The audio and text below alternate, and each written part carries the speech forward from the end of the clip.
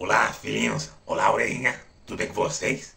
Tô passando aqui mais uma vez para reforçar esse convite, né?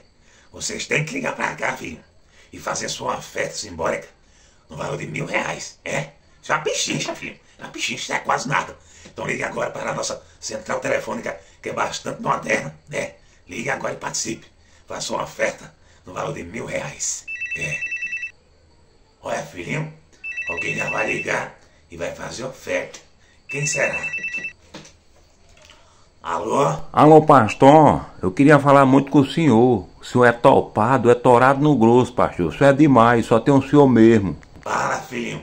Fala, orelhinha. Eu queria que o senhor me desse uma ajuda aí, pastor, com dinheiro aí, pra eu pagar minhas contas aqui, aluguel, energia, água, né? Tô, tô devendo muito. Mas peraí, filhinho, peraí, filhinho. Quantos anos você tem? Eu tenho 28 anos. Tenho 28 anos, é. 28 anos, né, filhinho? Então, filhinho, peraí. A ligação caiu. Então, veja só, o meu povo. O povo gosta muito de pedir, né? A pessoa só quer pedir, só quer pedir. Assim não dá, filho. Assim a firma quebra.